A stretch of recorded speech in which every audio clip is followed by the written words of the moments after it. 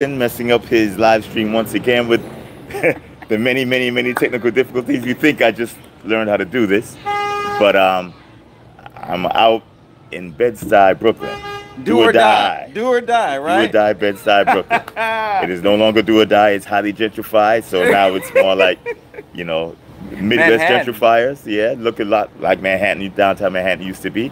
We have Crypto Blood here, um, and he came to New York to attend the NFT NYC BS E BS nonsense. Um, pretty much, pretty I, much, Reggie. Shout out to Trek. He was uh he was down here with me. Okay. Um, I see there's only four viewers here, so it looks as if I actually might have messed this video up once again, and they're coming in. Did not make it public because usually I have a lot more than this.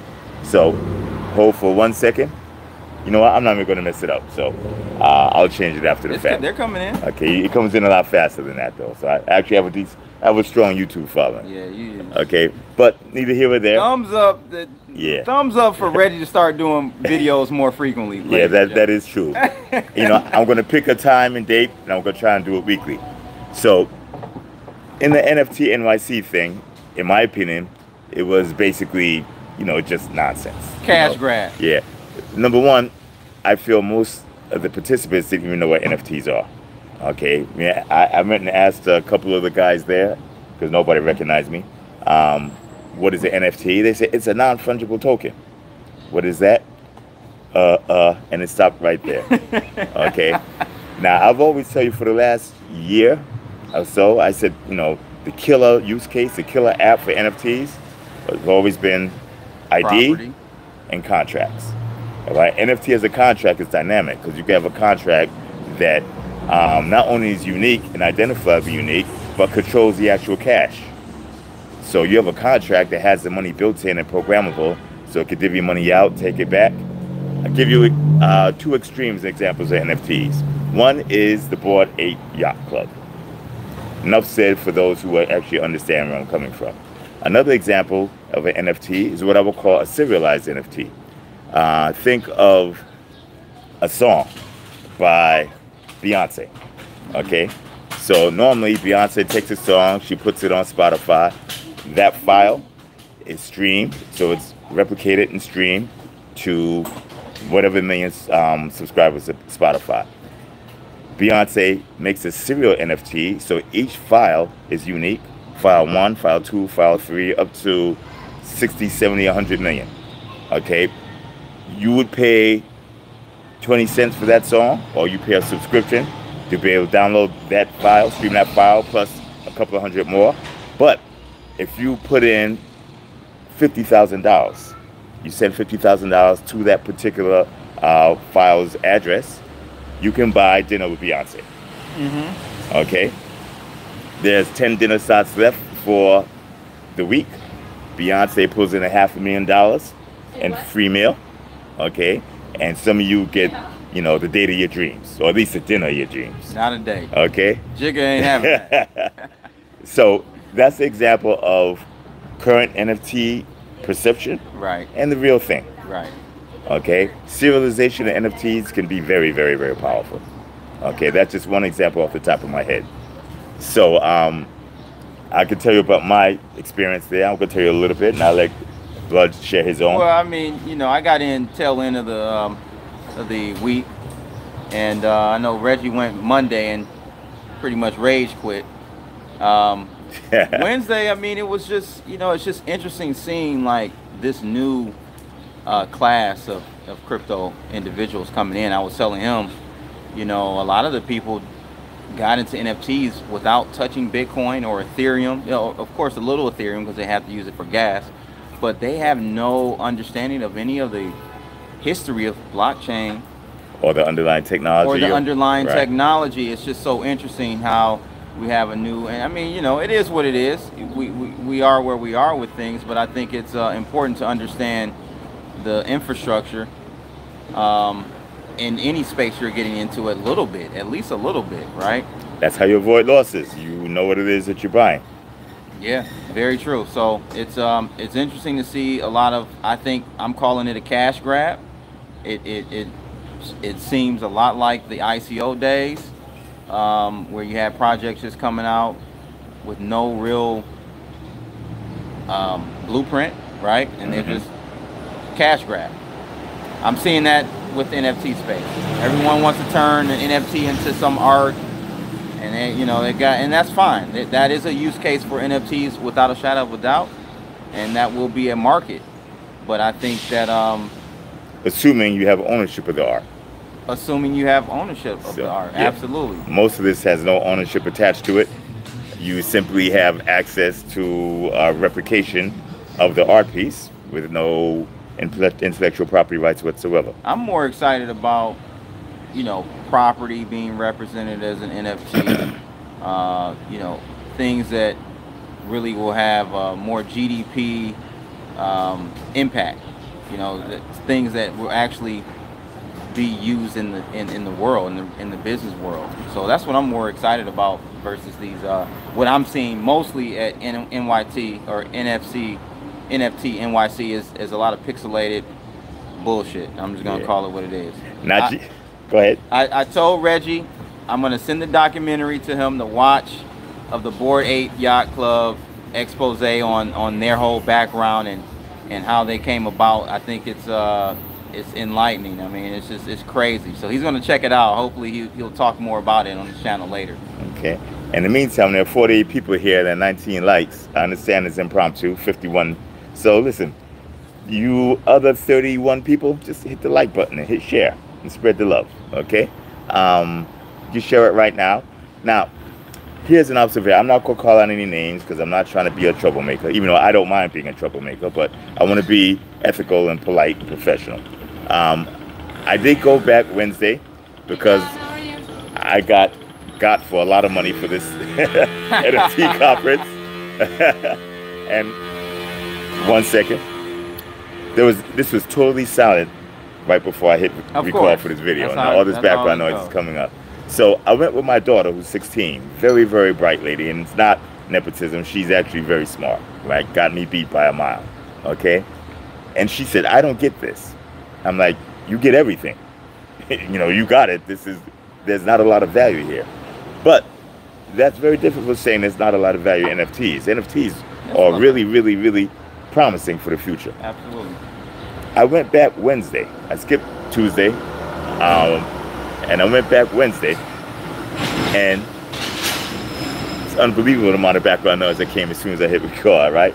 So Wednesday I went there, and I went to the legal um, symposium within NFT NYC. It was a bunch of lawyers going back and forth, and they talked about a lot of risks. They had three major risks. The number one risk, they say, is trademark risk, IP risk. The number two they said is copyright risk, IP. And the number three they said is the um, Uniform Commercial Code, basically disclaiming functionality, fitness, etc. Okay? And I'm like, hmm. So they wouldn't allow me to ask a question.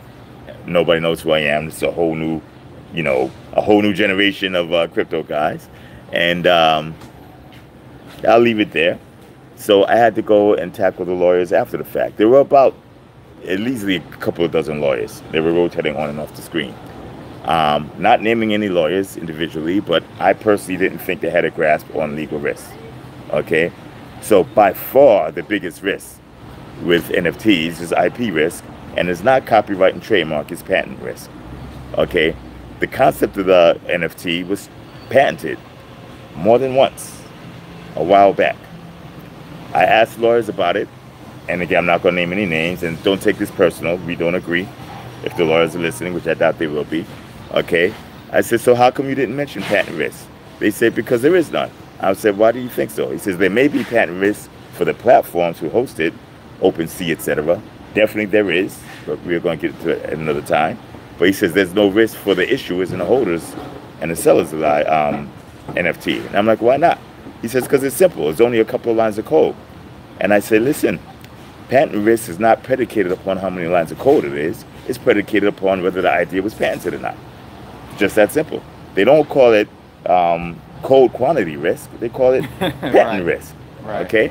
Um, he disagreed with me, and I said, well, I can tell you for a fact that there's um, multiple, at least two patent holders who have a claim. Um, One is that tall, real good-looking brother from Brooklyn. Okay, sitting next to the other brother from Brooklyn. he's not from Brooklyn. That's the only reason. I'm not saying he's not not good-looking. Okay, and um, I said, I said, look it up. Um, and then the other one is Dr. Craig Wright. Craig Wright has been on um, LinkedIn and he's been making noise about how he's going to have lawsuits flying in a few months and he's going to end all the fraud that is NFTs. I'm not going to comment on. Hold for one second. Let me not compete with this siren. Honestly, it was YouTube absolutely no noise. yeah. There was absolutely no noise for like an hour before I hit record.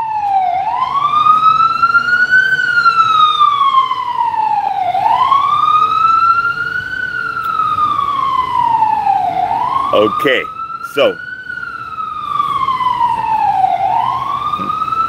so every time I bring Craig Wright up, it seems to get emotional. okay, I'm not gonna opine upon whether he's Satoshi or not. I don't care. Honestly, I don't. Th- I think you guys care too much. Um, but he does have 53 issue patents. Last time I checked, and even though most are minutiae, two or three, two or three have some meat on it. Um, he has patents issued out of the UK and uh, Europe through the EPO, European Patent Office, which covers the UK and the uh, Europe, Eurozone, give or take. And that is for, I'm trying to remember the title, um, identification of assets on a digital digital rights management on the blockchain. I think that's what it's called. And I think that's what he's referring to in terms of uh, um, NFT patents. I'm not sure because I don't have an incentive to go through his portfolio and research it. I don't really care about that either. It's not. I don't have a dog in that fight. But read through the pen before you start complaining and everything else because he has been executing. Okay, 53 is a lot of patents for a small entity, nChain, which is funded by someone who has money. And um, I'm not going to opine on how smart Craig Wright is or not, but they are executing. Okay, number one. And number two, he has won the copyright to the Bitcoin white, white paper in the UK. The UK is one of the world's largest economies, and it has London, which is a financial center, probably the second behind New York. The first once it comes to currencies and gold, or maybe the second, gold in New York, but you know, one or two. So think about that. Okay, that gives them a strategic uh, launch pad. Now, as for the NFTs and my patent, I suggest everybody take a look at Claim One, right? Use an open mind and just plug the NFT in. It works. Okay, that means that um, a lot of big name brands who are being very aggressive in protecting their brand and IP, which I understand 100% and completely, okay, are being advised. All we gotta do is racing in the background. are being advised do by die, by legal counsel, of which there was roughly a dozen or two, you know, at the conference, and everybody I talked to was either oblivious to the um, patent IP infringement risk or didn't agree they existed. I'm not a lawyer, so don't take this as legal advice, but take, take this as a recommendation to read for yourself. Okay? If Craig Wright were to, you know, you say he's, he's getting ready to put out these lawsuits, how would those lawsuits affect you and your endeavors? It wouldn't affect me at all. I'm saying uh, let's let's do a scenario. He wins. How would that look for you? Wouldn't look at all. He wins or loses, you know. No, no benefit or, or detriment to you. None at all. Not that I could think of. Um, if I say that something infringes, I'm pretty confident about it. Um, I can tell you right now, we didn't do a full analysis on NFTs. Um, we had a long conversation yesterday and day before yesterday with analysts and developers. They actually disagreed with me until we went step by step through the claims process. Okay, and now everybody's in full agreement. It's actually not that complicated, but you have to look at it as the patent expresses something. Uh, the patent is actually pretty powerful, and um, luckily I have it because I'm not looking to exploit. But imagine if Jamie Dimon's, one of Jamie Dimon's employees invented this and had it assigned over to JP Morgan. Okay? That would have been a JPM NYC conference, not an NFT NYC conference. Okay? Um, so I'm going to divulge more on NFTs and um, IP rights and uh, the potential for infringement. We're going to delve deeper into this because there is a lot of money into in it, particularly if you understand how to use the technology correctly. I gave an example earlier, like serialization. Okay, the Bored Ape Yacht Club and all that, very good for marketing, for awareness. Um, but you know, not only you're not touching the surface, you haven't even reached the surface yet. Okay, and the advantage of having something like a serialized NFT, it can generate cash flow. Something that generates cash flows automatically has more price stability. Because I give an example of a apartment building. You know, we pick an apartment building. Here we're on. I give you an idea of what Bed-Stuy looks like in 2022, which is very different from 30 years ago. Okay, so we have an, uh, uh, this is a mixed-use building. You take a look up there, the bottom floor is commercial, where there's a restaurant. Okay, and the top three floors are residential. Let's say each floor throws off uh, $3,500, $4,000 in rent. This bottom floor, the commercial restaurant throws off this would be more like maybe 6,000, 7,000, right? Maybe six, 7,000 in rent. So let's say 5, 5, 5, 15 plus 7, $22,000 in rent. Per month, that would be 220 plus another 40, 260 something thousand dollars a year. Okay? You could purchase this building for, let's say, $5 million. Okay? All of a sudden, the market has a sharp correction the highest offer you get for this building is $500,000. Without cash flow, you have a problem. You have to sit back, hope, and wait the price goes up. But you're making $260,000 a year in cash flow. So you're making 50% of the highest offer. This time next year, you're making the entire offer in cash. Every year it goes up, you have price increases, inflation, etc. So that cash flow cushions the price fluctuations gives you the ability. Now they're having a honking contest. so it, cash flow means a lot. You can't get cash flow with uh, fake value. And I, now going to go after the Ape Yacht Club, fake value. Okay? The ability to incorporate these cash flows gives you significant value appreciation, um, value recognition. So now you have capital appreciation and you have cash flow. Okay, and with cash flow, it gives you a different way of valuing it. Because now you take cash flows, you project them 10 years out into the future, you discount it back by a risk metric, which is a discount factor, you can value the property. Or you can value the property in the market. The market is almost always wrong. How do you know that? Because you have wealthy people. If the market was always priced to perfection, you could never buy something for less than its worth, which means when you bought it, you bought it for exactly what it would be. Right. But you have people who are much, much better at math and much more objective. And so they buy things for 70% of what it's worth or 50% of what it's worth. Then you have people who are very bad at math and very subjective, and they buy things for 120% of what it's worth or 400% of what it's worth. We need that because that's how you have wealth concentrating. Right. The people who add and subtract out um, properly and don't put their feelings in the game, and the people who do solely feelings do not do any math or research, and usually go off for tips. Like, hey, buy this NFT. So that's it in a nutshell. Let's go over these questions. I'm sure we have some. Go over those questions for me, Blood? Yeah. I see my guy Minho is in the building. Where's the cigar? I got it right here. No worries about it. You know it. From a G's perspective, LJ is in the building. Okay, if you don't hold it, you don't own it. True. That, that true to you? Well, if you don't if you don't own it, you don't have it. You can own something you don't have, but that doesn't mean you have it. Right, so right. That that's what you would call credit risk and counterparty risk. So Yes, here, sir. this is of significant value soon. This should have been the world's first NFT. Right? This is my business card. Flip it over. I don't want you to see that number right quick, but that's my business card, right? So I give this to Blood. Okay, he gives me an IOU receipt. I still own that, mm-hmm. but I don't possess it. That's the value of the blockchain. That's Right. what made me get into this in 2013. I read it, and the first thing that came to mind was that I can, for the first time now, take an object and I can trifurcate it or quadrifurcate it, which is four two times what bifurcating is. Right, yeah. So I can separate ownership and possession and custody. Forgot the fourth one. That three is enough. I separate ownership, possession, and custody, and I can separate it and spread it. So I could give her ownership, her custody, and him possession. You could do that in the blockchain. You can't do that outside of the blockchain, at least um, to the best of my recollection. One of the questions was, um, are you doing any training, blockchain business financial financial training. Training? Yeah. Um, these videos are training. I Yeah, drop a I- lot of science in these does. videos. Yeah. He does. He drops a lot of knowledge, guys. Ask questions. Each NFT has a unique ID. Yeah. Yeah, that that's the whole point. It's supposed to be non-fungible. Tulip Mania.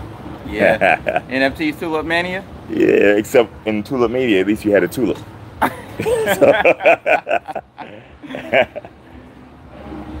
What's your views on the gaming? Sector in crypto space. Um, um, still underdeveloped, but there's a lot of promise there. Um, the best part about gaming is the fact that you can actually have real value as a currency going in and out of the game. So you can trade. You know, games always had their own currency, not always, but for quite some time now. But now that currency can leave the game and come in from outside of the game. So imagine if you could use actual real dollars in any game. Yeah, that's the killer app right there. Also, not only currencies though, Reggie, but also assets, right? Game assets. Assets are currencies. When you trade the assets back and forth, you can actually make a currency if that value is accepted by somebody else. That would be either a fiat currency or a commodity currency. Okay, but you're right. Remember, I, I'm one of those like finance nerds. Right, right. New York City tough. Voice of blockchain reality. Okay. I'm getting into Gala. Okay, I don't know what that is, but good for you, brother or sister. it's a gaming uh, NFT Okay. platform. Uh, see. Thank you. Who called Celsius for the scam it is? Did you? Um, I didn't because I, I don't really. This is the issue with Celsius and me. Um, I'm not one of those. It has to be decentralized, decentralized, Right. decentralized, decentralized. But if you're going to get into a blockchain-based asset, why the hell would you put it into a centralized entity? You're defeating the purpose. Mhm. You're walking forward two steps and then walking back 6 Mhm. So Celsius is basically an unregulated bank, a shadow bank. That's why they were having so many Right. problems in all those states. right. Without without the protections, Right, So, right, exactly. you know, you are getting. so their yield should have been in the marketplace should have been way lower than what you even get in the traditional, let's say, uh, certificate of deposit. Well, actually, their yield should have been much, much higher. You think so? Yeah, oh yeah, because of the more risk. risk, yeah. more risk. Right. and they right, should have right. been yielding like 40, 50%, 30%, definitely not under 20. But clearly they that couldn't work because they couldn't keep the Ponzi going at eight percent, six percent. I didn't call it Ponzi, he did. but I'm not going to opine on it, but if I do, I go in rough. So, Yeah, because, you yeah, know, those facts hurt. So, Yep. I actually Uh, talked to the CEO of Celsius yeah, I've met him. um, at the March um, Bitcoin conference. Yeah, and, You know, and, and uh, yeah, yeah, in he Miami, brushed, yeah, right? he brushed me. He was polite, but politely brushed me off. So, um, there are other issues that these entities are going to have, but we're not going to get into that right now either. I've, so what do you think about? Okay, we, we know money is becoming more expensive, right? Interest rates are he- heading higher. Do Mhm. you see uh, a point where DeFi would be flipped, like so traditional uh, yield would be higher than your DeFi, or at least CeFi Well, uh, platforms? It all depends on how you put the DeFi yield together. Remember, DeFi is technology. You know, don't believe Gary Gensler when he says these are all securities. It's technology. Mhm, Okay, so it all depends on how you create the yield. mhm. So once you create the yield, you look in to see how it's created, you measure the risk that you take, and then you compare it to the reward. See, here's a definition of risk. It's real simple. Okay? I'm going to give you a two-part definition, part A and part B. Part A is the raw definition. Um, risk for a long asset holder is downside deviation from expected return. Mhm. Okay? The traditional academic definition of risk is volatility. Right. But see, that doesn't work well. You buy Bitcoin, Bitcoin, you buy it at 20,000, it shoots up to 150,000. Volatility shoots through the roof. Do you have a problem with that? Okay? Only to the downside. Only to the downside. So you need to measure volatility against your best interest. Okay, number one. Okay, what is risk? What does that definition stand for? Well, risk is the price that you pay for reward. So, in order for you to be economically profitable, you want to pay less in terms of risk than you receive in reward. If you pay one unit of risk and get one unit of reward, you broke even. You could pay three units of risk for one unit of reward, and you could have an accounting profit. Mm-hmm. And then you'd be like, Reggie doesn't know what the hell he's talking about. Look, right. I made money. Right. You rolled the dice and you lucked out. Mm-hmm. Roll the dice 50 more times, you're going to crap out. Yeah. Okay? So you want to pay two units of risk and get five units of reward back. If you do that over time, you would make an economic profit, which would be a nearly guaranteed statistically accounting profit over time. Mm-hmm. Okay? That might sound like it's, you know, a little, it's not academic at all, right? But it is scientific, and that's the way you need to approach it. This stuff is like technology. You cannot have a patent suit by buying stocks or bonds. You can have a patent suit and you can lose horribly if you use somebody's technology without their permission and they can prove that you did that and it was patented, right? That's going to be a big, big difference going forward. There's at least three patent holders who will all say that 2022 they're going to start forcibly uh, exercising their patent rights. Mm. And I didn't say Reggie's doing it. You know, there are other patent holders. There are other people in the world who didn't see this as you should never, you know, own your property. So you got a guy you were talking to that has a patent and is going. What type of patent did he have? Uh, um, uh, one has a data, um, a patent on data and data systems. Um, that's the guy who's going after the DAOs, yeah. MakerDAO and yeah, Uniswap DAO in particular. Yeah. He also has the other. It also works with other projects, but I'm not going to comment on it because um, I'm not on anybody's side per se. Gotcha. Um, and you have the infamous uh, Voldemort, or he whose names cannot be mentioned, because so many people seem to hate Craig Wright, and he doesn't seem to be the most personable guy. But again, you know that's really irrelevant, right? Do the patents hold water? Yes or no? Okay, we still have 95 people on on, Let's on get board. those thumbs up, guys. Right, 95 people on board, 64 thumbs up. So 50 people should do thumbs up and share it. Ask me questions. These are the times you need to ask the actual hardcore finance and technology questions. I'm willing to answer on these lives. Oh, Richard Hart, you gotta have the Hexians in here. That's okay. that's without a doubt. Um, what's the diff- What's the difference between? Uh, Before you go on, what's your opinion? What's your opinion of Richard Hart and Hex? Is Hex? Uh, what do you think about the Hex project? Enough, I don't know enough to um, give a real opinion. Um, he's clever. Mm-hmm. I don't think he's a snakes. I don't think he's like a snake oil salesman. I okay. don't, but I don't know how sustainable that is. I mean, now he's you know he's got everyone sacrificing in the PulseChain or whatever that. I don't know. It sounds like a religion to me, but uh, we got sacrifices and stuff going on. But yeah, I, I to be honest with you, I don't normally. I, if I don't know enough about it, I'm not going to give an opinion. So which is the way it's supposed to be. Yeah, yeah. Okay. Yeah. So I don't I don't know enough about Hex to give a, a real solid um, opinion on it, guys. Okay. We don't. Fair enough. Well, I've had a team of lawyers, um, analysts, and um, technologists look over it, and my opinion is posted on the Veritaseum research section. So, so you know, out. you can go read that. Yeah. So we had someone say um, Reggie did a great breakdown on Hex. Okay, someone read it.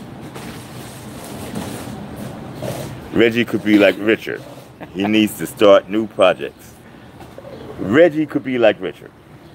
Well, why? Why would Reggie why want to be like Richard? Yeah, yeah, yeah. Let me explain something. Reggie's sitting here with a shirt on. Okay, I'm not sitting in a king's chair. I don't have a chalice, right, with diamonds and rubies on it. I don't have a watch winder behind me with Rolexes blinging, and I don't have gold chains on. Right? Reggie could be like Reggie. If Reggie perform like that, you would call me all types of names. Yeah, you would. Right? Absolutely. Somebody from Reggie's demographic can't carry on like that. So I'm not going to go any further That's on that. Fact. That's a fact. Yeah, I was actually insulted with that comment, but I don't think you intended relevant. that. So, so our DAO's going to be relevant in the future since you're kind of uh, you're testing that that whole thesis. Yeah, I think they will be relevant. It's just that people have to understand what DAOs are, what their limits are. Um, DAOs, I think, are best used with a legal liability wrapper because without that, um, the members of the DAO are exposed, in my opinion. Yeah. Let's, let's go, guys. Get those likes up. There we go. Now we looking good with the thumbs up. Uh, let's see. Helping artists get into NFTs, good or bad. It all it all depends on what your goal is and what the artist is. Getting into a technology is not good or bad, but if you get into a technology just to be into it, that's bad. That's like helping artists get into uh, uh, radio. Getting in radio is bad if you're a television actor, right? So remember, remember, the NFTs are a technology. Okay, they're not a panacea. It's not a universal solution. It's a technology. I think in the beginning I gave an example of serial, serialized NFTs right. that I think would be very cool. Yeah. So Reggie, uh, as a neophyte in crypto, what advice would you give me, brother, to be successful? Learn. Learn and learn from primary sources, not from newspaper articles. Most of the big article, most of the big news media sites in crypto are they not compromised. Yeah. Right. They're, they're not news. They're corporate PR fronts. Yeah. And they said, look at the bottom at the disclaimer. It'll tell you up front. Okay. And then look at um, the entity that uh, they're talking about. I'm not going to name it. And you'll see. And look what the entity owns and what it does. So learn from primary sources. A court case comes up. You want to learn about the court case, the outcome, or the allegations? Go straight to the legal documents. Look at both sides. Don't look at just the plaintiff. Look at the plaintiff's papers and the defendant's papers.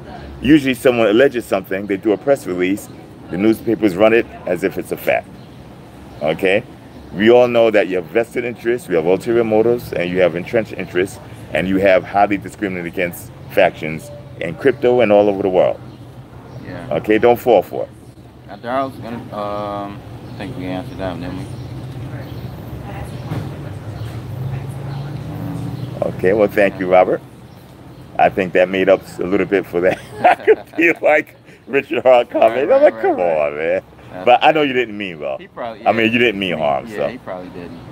Um, let's see here. Uh, it's very insecure. Not in my What's opinion. Your thoughts on ADA? What's your thoughts on Cardano? Um, I haven't done a deep dive on Cardano yet. So you know he was on the uh, Hill. Congress, right? yeah, yeah. I didn't get a chance to watch it. I was actually in a live stream when that was going on. Mm-hmm. Uh, did you get any?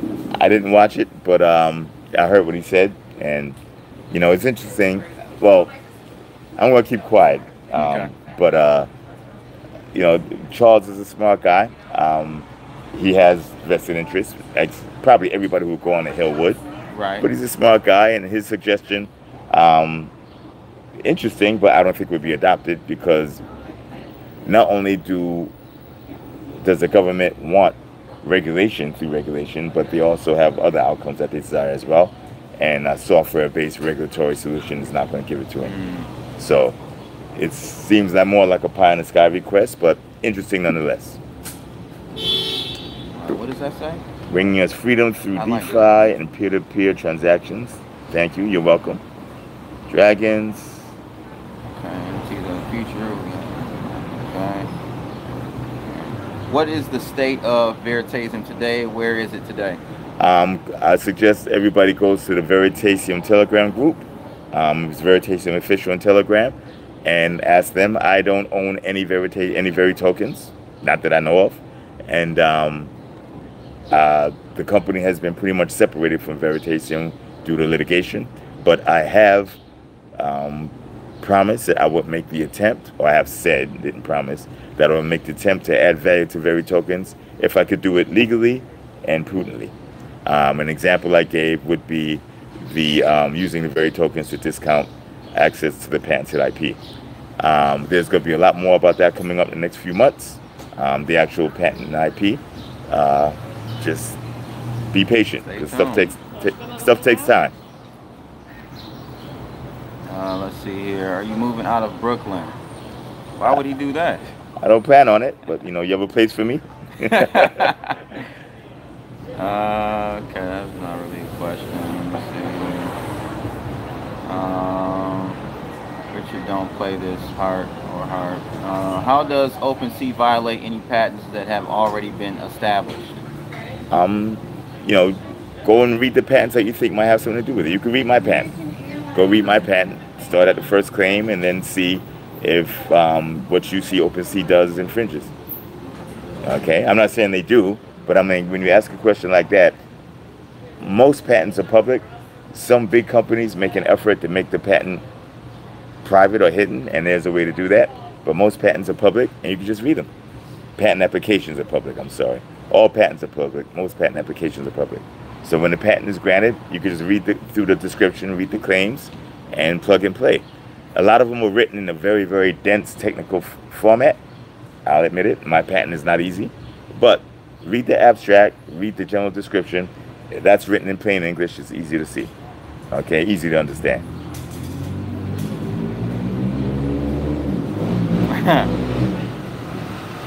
I'm hoping you guys uh, that did SIM swap and stole your bread gets a life sentence. Yeah, yeah, that's an interesting story. I'll bring everybody up on that.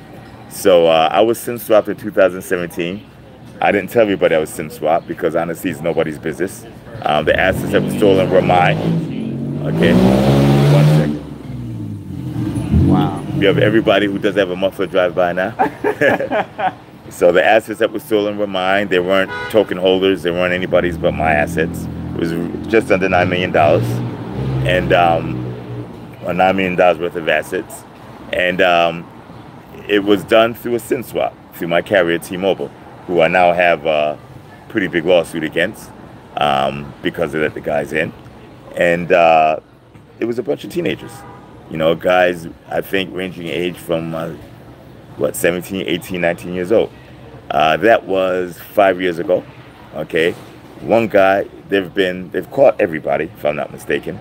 Uh, one guy has pled and i think he's probably if he's not in jail now he's going to jail. Um, two were indicted. One is in uk the one that is um, pled is in the us in california.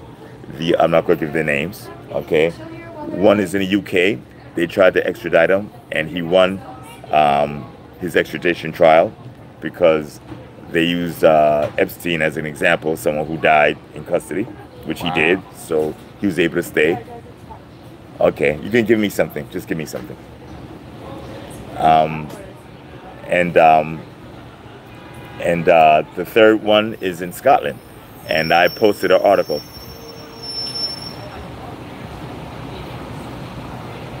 It's not a meeting. I'm just doing a a live stream. Yeah. So I'll pick something off the menu. She'll buy something. Um. Wow. I know. Most of them. well, anyway, um, the um, the uh, and the, the third guy is in Scotland. He was 19 when he did the deed, and uh, he's currently going through an extradition trial. Um, and if I'm not mistaken, there's a fourth. Uh, these guys robbed more than me, and through my backhand calculations, they are sitting on they were sitting on roughly 230 million dollars worth of crypto in 2017 terms.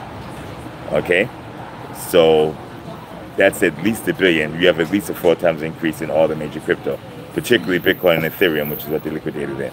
They went through Ethereum, then put it in Bitcoin. So Bitcoin's price in 2017 was somewhere around 16, 17,000, right? No, 2017. No, it's more like 6,000. 6,000. Yeah. Well, yeah, end of end of 17 was like 20, right? You yeah. 20. Yeah. So even at 20, uh, no, yeah, I can't remember. I can't remember. So, well, anyway, they're sitting on a lot, assuming that they uh, spent it uh, a decent amount of it. You can't liquidate Bitcoin or you can't liquidate digital assets that quickly and stay undercover. That's how the first guy got caught. A teenager driving around a half a million dollar McLaren. He was speeding, got pulled over, and when asked whose car it was, he said it was my mom's car. Oh, I thought he said it was Reggie Middleton. That's what he should have said. Yeah, it was Reggie Middleton's actually. Unfortunately. And Reggie's a very frugal guy. Reggie yeah. does listen, Reggie doesn't even own a car. Uh-huh. Okay, I'm very, very frugal. So you can imagine how much it would bother me not to buy a car and have some guy who robbed me driving around in a half a million dollar McLaren. So that's that story in a nutshell. Let's go over some more questions. Ask some real questions, the type of questions you won't get answers from in CoinDesk or Cointelegraph or on other um, YouTube Live. Yeah. Okay. By the way, um, we're gonna have a block update coming soon. Okay, this is stuff you're not gonna find on Wall Street. You're not gonna find anywhere else in the crypto areas. And the Coinbase stuff, again, I'm gonna have to push off to next week. We should have it out by next week. Killer, killer. And as whatever everything I've been saying over upcoming uh, weeks about Coinbase and Block has come true. Block missed, like I said they would. They're getting increased competition, like I said they would. I said Coinbase's um, trading revenue is going to trend to zero. I said the industry is going to start trading these assets without commissions, um, and margins are going to get pressured down from increased uh, competition. Where else, where else could, could uh, Coinbase uh, see revenue streams from? There are many places. First of all, um, Binance.us just introduced commission-free Bitcoin trading. Uh oh, so it happened. They started exactly as I said. Think about uh, yeah. Think about this. We have 4K video streaming, interactive um, commenting through YouTube. You stream YouTube live, right? Mm-hmm. How much you pay for that? Internet bill. Okay, so it's quite possible. You got to update and change your business model. Right, overcharging and Coinbase does overcharge, in my opinion. Yes. Overcharging for transaction fees is like going back to the 70s and the 80s where they overcharged for stock trading. Mm-hmm. And then this guy named Charles, Charles Schwab, came up. Now. I'm so sorry. We let you use this for a bit of time. We're ordering something. Okay. Okay. Okay. The order. I know, but so you, we never would have said like, okay, sit here at past five if you're having a meeting. We don't allow computers in general. So it's more about the experience of all the other customers that are essentially here. Okay. I see that no one's here now. So I do, I do see that. I'm familiar. But you, and you did assure me that you would be gone before five. I said if I'm not gone before five, then I would buy food. Do you, do you understand our stance at all about? I don't, but I'm gonna end this. Okay. What's the restaurant's name? Oddly enough. Oddly enough. Oddly enough. Oddly enough in Bed-Stuy. They want us to end the live stream. I ordered food.